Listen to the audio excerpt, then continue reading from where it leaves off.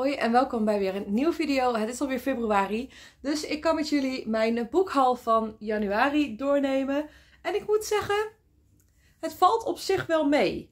Het is wel een stapeltje, maar ik heb ook een paar boeken gekregen dat, die, dat ik die kan lenen, zeg maar. Dus die voeg ik niet toe aan mijn fysieke TBR, omdat het niet mijn boeken zijn. Ik heb ze ook niet gekocht, maar ik dacht ik wil ze wel even laten zien in deze video. Want mijn nicht kwam in januari langs en zij kijkt mijn video's ook. En toen had ze drie boeken voor mij meegenomen waarvan ze dacht, nou, die wil ik wel gaan lezen. Allereerst de Hunger Games, de Engelse versie. Ze heeft een hele oude paperback hiervan. Ehm, maar dan kan ik kijken of ik het in het Engels wat vind. Omdat ik natuurlijk ehm, in januari ook uh, balladen van uh, slangen. Balladen van slangen en zangvogels. Balladen van zangvogels en slangen. Ik weet niet. In ieder geval die um, had ik gelezen in het Nederlands. Die vond ik echt super tof. De film is echt een van mijn favoriete films. Ik vind het fantastisch. Dus ik dacht, ik wil ook wel de Hunger Games proberen. Dus die heeft ze voor me meegenomen in het Engels. Dat ik even kan kijken of het wat is. Als het wat is, dan ga ik denk ik de boxset alsnog kopen. Maar kan ik het eerst even testen. Ook heeft zij voor mij meegenomen deel 1 van Bridgerton. Ik heb ook ooit wel eens in een video laten vallen dat ik um, toch wel nieuwsgierig was naar Bridgerton. Nadat ik dus deze serie van Marijke Vos had gelezen.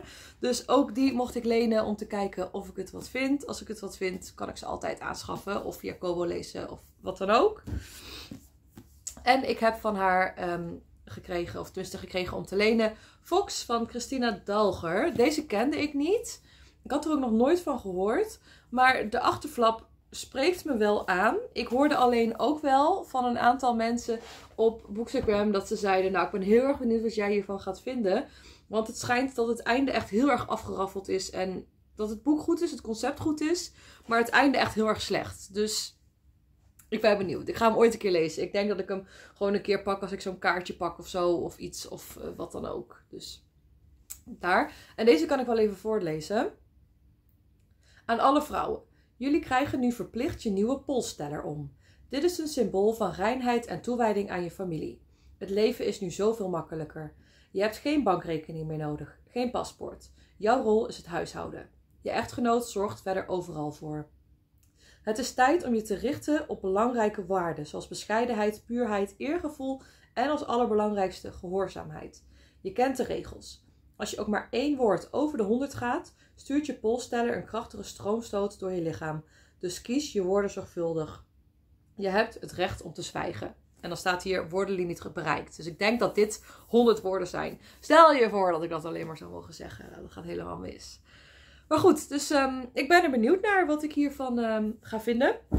Dus die drie heb ik mogen lenen. Voeg ik dus niet toe aan mijn fysieke TBR. Maar komen wel even in mijn kast staan totdat ik ze heb kunnen lezen. Dan heb ik op de valreep van januari nog een boek gekocht. Wat eigenlijk niet op de planning stond. Maar Patricia was hem aan het lezen. Die had hem in één dag uitgelezen. Hij stond al bij mij wel op mijn lijstje. En toen zei ze: Ja, het is op zich wel leuk om te lezen. Dus toen dacht ik: Ik ga hem even opzoeken. En toen zag ik dat hij voor 6 euro bij het blauwe mannetje stond. Dus toen heb ik hem gekocht. Ik dacht, ja, weet je, 6 euro. Weet je hoe goedkoop dat is? Dat koop ik gewoon. Until Friday Night van Abby Kleins. Ik heb deze al bij meerdere booktubers voorbij zien komen. En ik ben hier gewoon heel erg benieuwd naar. Patricia heeft hem ook vier sterren gegeven. Dus lijkt me leuk om deze te gaan lezen. Um, volgens mij is dit een soort van high school sport romance.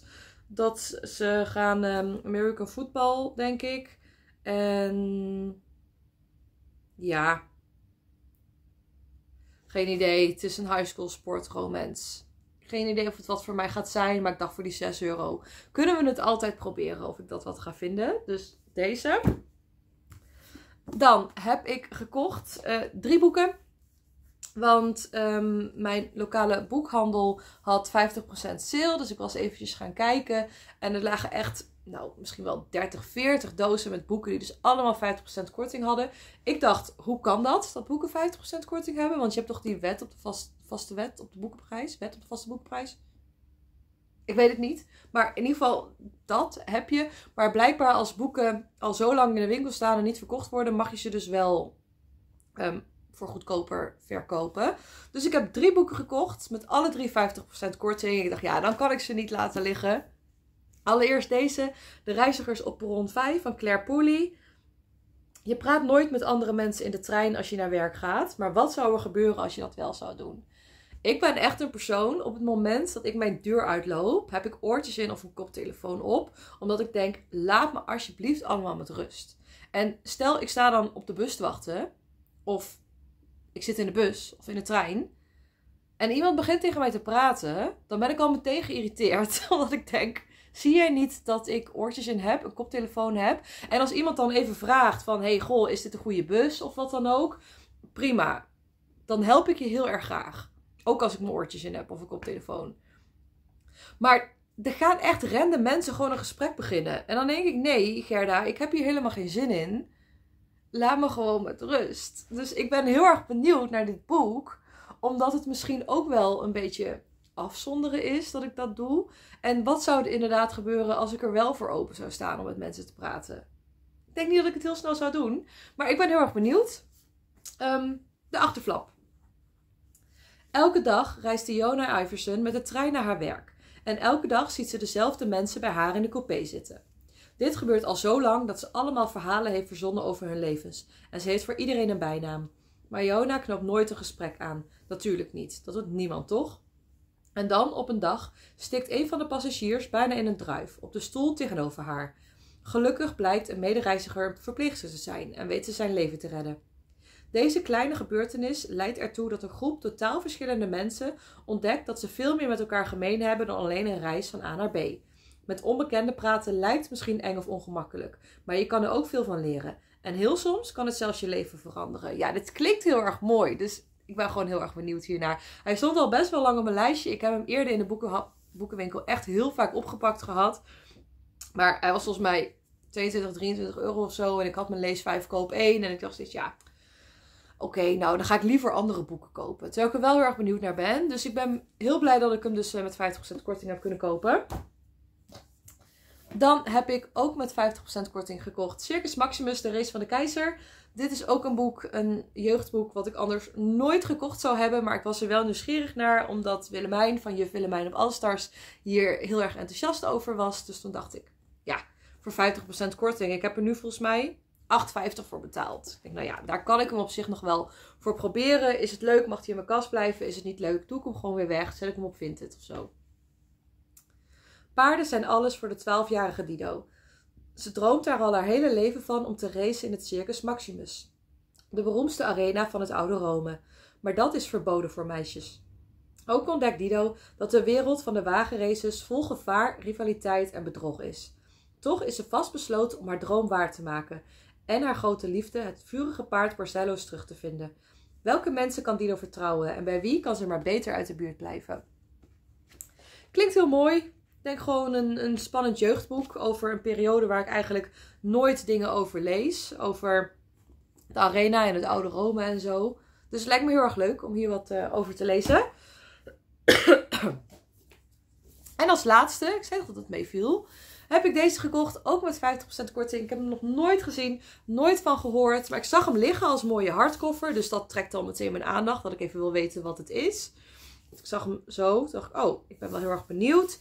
Koffer trok me heel erg aan. De achterflap trok me heel erg aan. En toen dacht ik, oh, ik vind dit zo interessant allemaal. Ik wil dit. Dus ik wist al meteen dat ik deze weer naar huis wilde nemen. Als je aan de Noordzee denkt, denk je aan zand en golven aan schelpen, duinen en zilvermeeuwen. Maar soms ligt er iets op het strand wat uit een andere wereld lijkt te komen. De kies van een mammoet, botten van hyena's of wolharige neushoorns, vuurstenen, vuistpijlen, speerpunten van geweien, voorwerpen van duizenden, tienduizenden of zelfs honderdduizenden jaren oud, uit de tijd dat er nog geen zee was, maar land. Een land vol heuvels en rivieren, waar mensen, mammoeten en reuzenherten liepen, waar ijskappen aangroeiden en weer wegsmolten totdat het uiteindelijk door de grijze zee werd opgeslokt. Dit is het verhaal van Doggerland, het land onder de golven. Archeoloog en kinderboekenschrijver Linda Dielemans neemt je 1 miljoen jaar mee terug in de tijd en voert je langs ijswoestijnen, reusachtige watervallen, kolkende rivieren en verwoestende vloedgolven. Je maakt kennis met de bewoners van Doggerland, de dieren en de mensen. Mensen zoals jij, Op zoek naar eten of een plek om te slapen. Op jacht of op de vlucht. Nou, dit klonk gewoon heel erg interessant. Het is een, ehm, een jeugdboek met hele mooie illustraties er ook bij in. Heel veel informatie um, over dingen die zijn gevonden uh, langs de kust in Nederland met kaarten, hoe het er eerder uitzag en zo. En ik kan wel zeggen, ik heb hem gisteren gelezen en ik ben echt heel enthousiast hierover. Maar daarvoor moet je of mijn leesvlog kijken of even wachten tot mijn wrap-up van februari. Dus alweer februari, dus dat duurt nog even voordat het online komt.